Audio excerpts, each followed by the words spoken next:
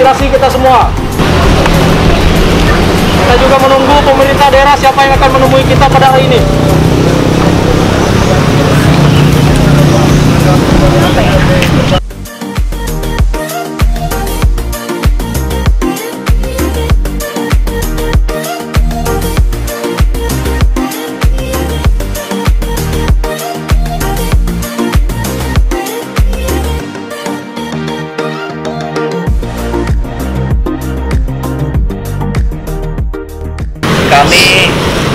Selaku pemerintah Provinsi Kalimantan Tengah sangat menyambut baik dengan ide-ide atau inovasi yang disampaikan oleh saudara karena tidak ada masyarakat Kalimantan Tengah yang menginginkan adanya kebakaran hutan dan lahan.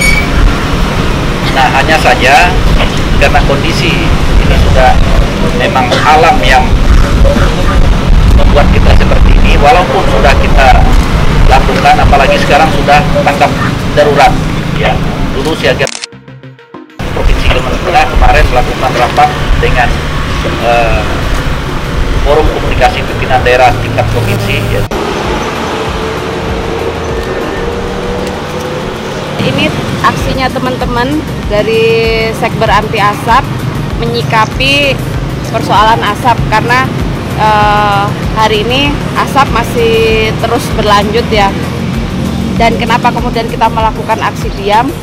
Karena juga aksi-aksi protes baik eh, konferensi pers atau aksi massa yang juga kemarin dilakukan sama teman-teman itu sampai detik ini belum ada tindak lanjut dari pemerintah ya. Eh, pertanggungjawabannya seperti apa atas persoalan asap. Makanya kami melakukan aksi diam dan di aksi diam ini juga kami juga mel- melakukan aksi pembagian selebaran. Karena menurut kami eh, masyarakat juga perlu tahu penyebab dari asap. Nah, eh, gubernur juga tidak menemuin kita, hanya kasat sat, eh, satpol pp-nya yang nemuin, yang menurut kami eh, dia tidak bisa mengambil kebijakan satupun yang berkenaan dengan asap. Karena kita tahu asap itu bukan bukan bencana alam alamiah dari Tuhan, tapi kemudian asap ini adalah bikinan gitu.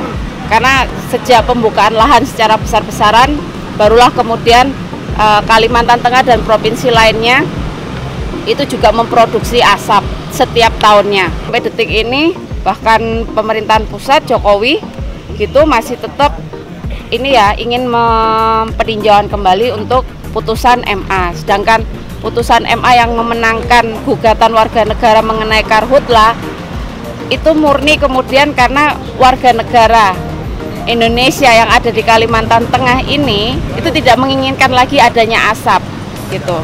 Karena kita tidak tahu kesehatan kita untuk saat ini apalagi untuk tahun-tahun berikutnya. Karena rentan sekali kemudian terjadinya ISPA, bahkan kemudian kanker paru, terutama kemudian untuk anak-anak ya. Berapa banyak sekarang korban yang sudah terjangkiti untuk masalah ISPA? Menurut data Kemenkes itu ada 11.578 eh maaf 11.758 penderita ISPA di Kalimantan Tengah. Nah, sekarang juga mulai juga men- meningkat eh, diare ya, terutama untuk di anak-anak. Artinya memang ini krusial sekali, ini urgent sekali. Yang namanya udara bersih itu hak dasarnya buat manusia. Jadi itu nggak bisa diabaikan. Harusnya pemerintah tidak kemudian melakukan peninjauan kembali. Harusnya pemerintah kemudian berterima kasih kepada masyarakat yang telah mengingatkan bahwa masih ada persoalan-persoalan terutama tentang penanganan izin dan pembukaan lahan secara besar-besaran terutama oleh korporasi besar kelapa sawit yang ini menjadi akar persoalan dari bencana asap yang setiap tahunnya harus dihadapi oleh masyarakat.